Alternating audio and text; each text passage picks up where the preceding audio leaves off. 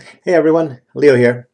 Uh, today's tutorial is on how to fund your blockchain wallet. So this is a very popular wallet, uh, in a lot of ways one of the more secure wallets. And if, if you don't know what it's a wallet for, it's for Bitcoin. So I, I assume you probably already know that. But some of you might have a difficult time funding it. So you've got to obviously create the account, which I've already done here. And you log in. Once you get in, you'll end up seeing a screen similar to this. Now this is a brand new account. I wanted to make sure that you saw exactly how to do it. Now the first thing you probably want to do when you set up your wallet is you got to make sure you go to the security center. There are some steps there you probably want to make sure you set up. Very basic.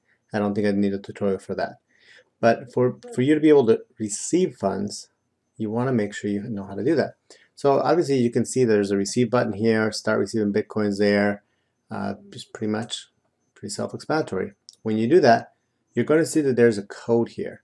Okay, that address is the one that's used for you receiving funds. If you're doing it with a phone, you'll see that there's a QR code here, and that QR code is where you can actually send funds to. And it'll get here. Now, you'll notice that if you do it again, the, the code might change. And that's totally fine. It's part of their security to make sure that you don't have the exact same code all the time. So all you've got to do is copy that code and when you're done, that's it. So you copy that code.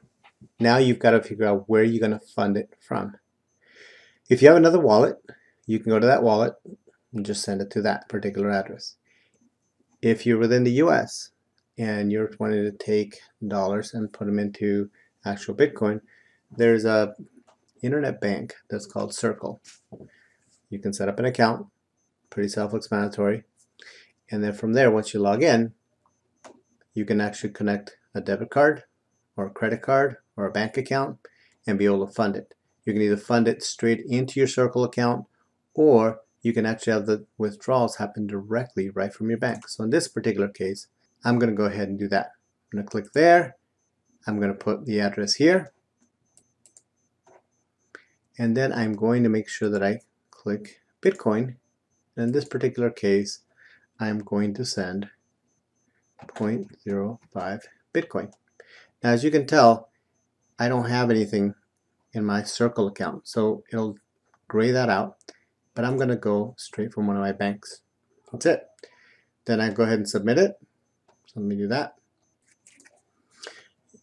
You will be given information here to verify how much you're going to be putting in. And then from there, you can actually, you will receive on your phone a verification code. So let me put that in and submit.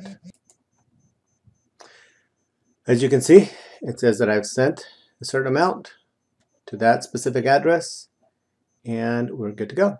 So in just a matter of time, that amount is going to be received here, which as you can see right away, it's already there.